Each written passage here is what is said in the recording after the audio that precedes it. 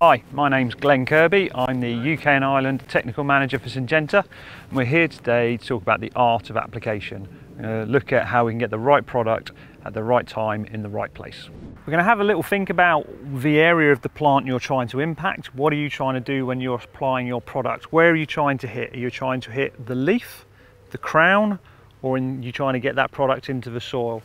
It's really important when you start your spraying setup that you've got a very clear picture in your mind exactly what you're trying to achieve with that product.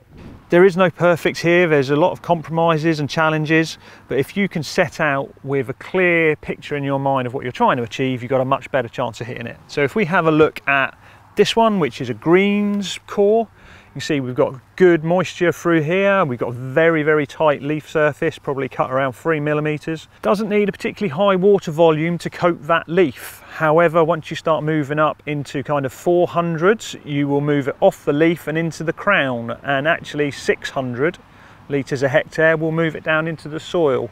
Um, it will certainly be washing it off of the leaf. A lower water volume of around 250 will give you really good leaf coverage here, assuming you've got the right pressure. And that's the kind of thing you want to be thinking there is kind of medallion, a contact fungicide, low water volumes on the leaf.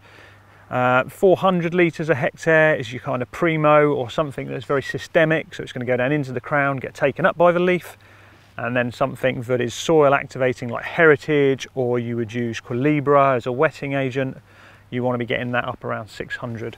Now, if we look at something like um, a fairway core, We've got some slightly different challenges here. We've got a soil profile that is very dry, very crumbly.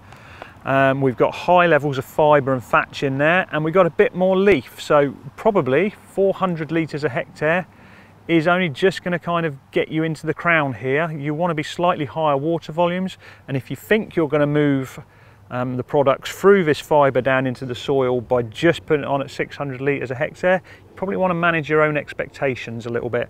You're going to need to get these soil profiles wet first and you're going to need to wash that through. So applying, in a situation like this, applying in wet days where you've got good rainfall following it up, if you're trying to hit the soil would be really important.